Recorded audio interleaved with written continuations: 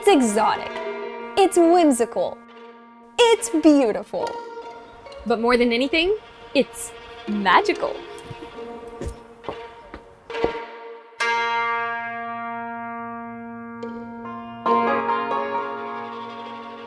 This is the Houdini Estate, a lush five acre oasis of terraced gardens, fountains, and mystery. Hidden away in the Hollywood Hills, this local landmark is a popular location for movies, TV shows, photo shoots, and private events. But obviously, it's called the Houdini Estate for a reason. The world renowned illusionist and escape artist actually lived and worked here, and even practiced his water escapes in the estate swimming pool. Harry Houdini was born Eric Weiss in Budapest, Hungary in 1874. His family immigrated to the United States when he was a young child and eventually settled in Wisconsin. When Eric was a teenager, he became inspired by French magician Jean-Eugène Robert Houdin and took on the stage name Harry Houdini to honor him. Eric, now Harry, soon became a renowned illusionist, magician, and escape artist. He was famous for his daring and seemingly impossible feats of escape and illusion. In his escape acts, he would free himself from handcuffs, chains, and straitjackets while hanging from great heights or submerged in water. He was also skilled in sleight of hand and helped to popularize magic in the form of entertainment in the early 20th century. In 1919, Harry Houdini made California's Laurel Canyon his home while he pursued a career in Hollywood's film industry. Houdini and his wife Bess resided here during his LA excursions, but they were guests. The estate belonged to a friend, a friend who just so happened to have a deep water tank that Houdini could use to practice his underwater routines. Harry Houdini died at age 52 on October 31, 1926, due to complications from a ruptured appendix. It's believed that the condition was caused by a punch to the stomach that he didn't take seriously and continued to perform despite the pain.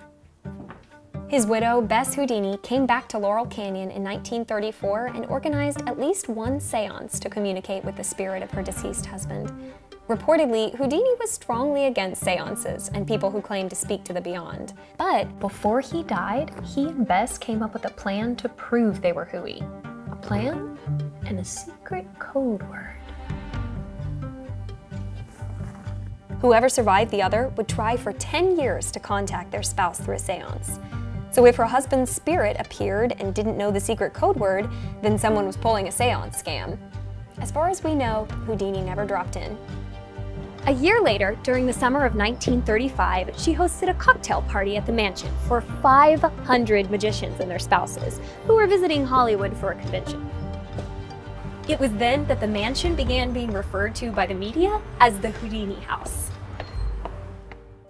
In 1959, the mansion lost two upper stories in a fire that burned through much of the Laurel Canyon neighborhood.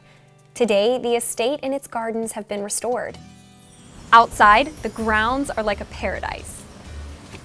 The estate is tended by 15 gardeners and boasts century-old trees, strange artwork, and thousands and thousands and thousands of flowers. Thanks to a natural water spring, the gardens are fresh and green all year round. There are fireplaces, gazebos, fountains, a heated pool, an outdoor spa, and even an hour of hiking trails with gorgeous canyon vistas. The property is also home to koi fish, peacocks, turtles, bullfrogs, blue herons, and wild deer. The property's main house has two stories, four bedrooms, and a ton of living space with an open plan kitchen.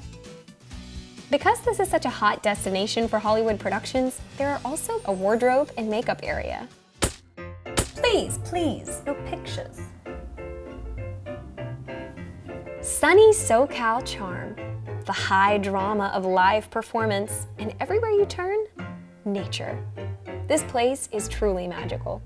Are you ready to move into your very own enchanting estate? Take a look at available properties now at RocketHomes.com. This is the Houdini Estate. Gardens! Whoa! And mystery!